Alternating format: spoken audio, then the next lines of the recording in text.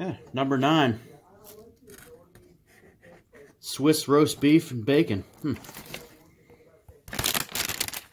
Oh, you don't think it's free? Let's see. Look, got a receipt. Look at there. I'll be damned. Number nine, Club Supreme. Look at that. Oh, wow. Yep, that's it. See what the price was. Oh, look, free sub, Big Daddy.